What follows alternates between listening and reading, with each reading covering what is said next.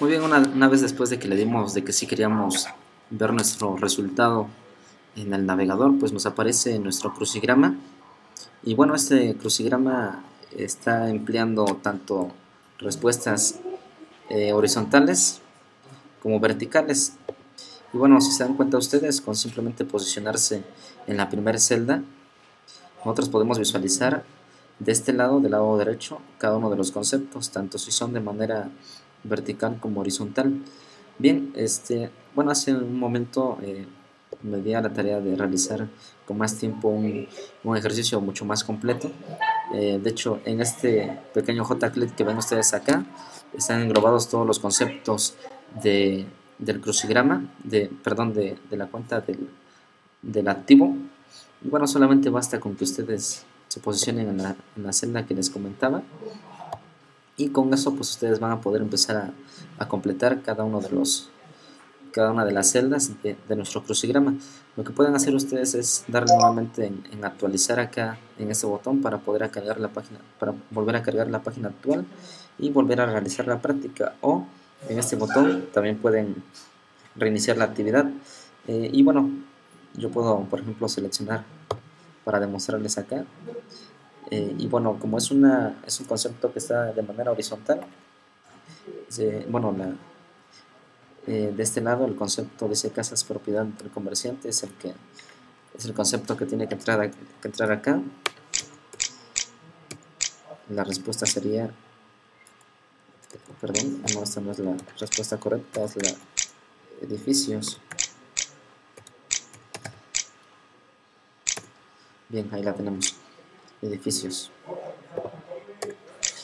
Eh, si nos posicionamos en esta de acá, esta es una vertical, pero a su vez forma parte de una horizontal. Eh, de manera vertical, esas son las personas que deben al negocio por haberle vendido mercancía a crédito, ya, y a quienes no se exige especial garantía documental son los clientes. Entonces, la completamos con la palabra, con la letra, con las letras de la palabra clientes. Y bueno, este, vamos a ver. Ese mensaje apareció porque solamente tengo 12 intentos para completar. Bueno, a ver, clientes. Tenemos aquí la palabra clientes. Eh, si me voy a esta que es de manera horizontal, son los predios que pertenecen al comerciante, predios terrenos.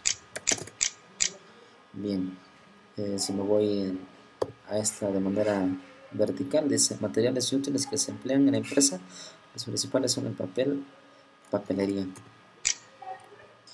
La respuesta es papelería. Y bueno, eh, después de que el tiempo se agota, ustedes ya no pueden realizar ninguna actividad, entonces hay que estar muy atentos en, en que ustedes completen este crucigrama antes de que se acabe el tiempo. Eh, probablemente este tiempo no sea el, el, adecuado, entonces ustedes pueden editar nuevamente su crucigrama.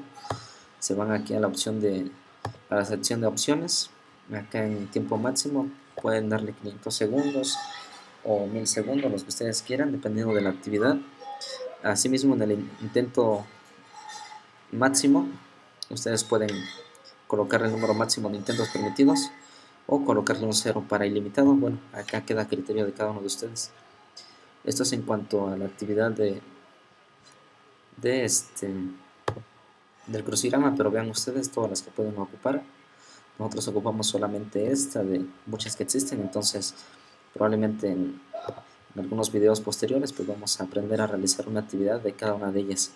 Y bueno, esta, este tipo de actividades pues se ha demostrado mediante estudios que facilitan el aprendizaje de nuestros estudiantes y no solamente es aplicable a una disciplina, sino que es, es un material didáctico multidisciplinar, entonces en cada una de las materias que ustedes impartan puede, puede aplicarse de manera perfecta.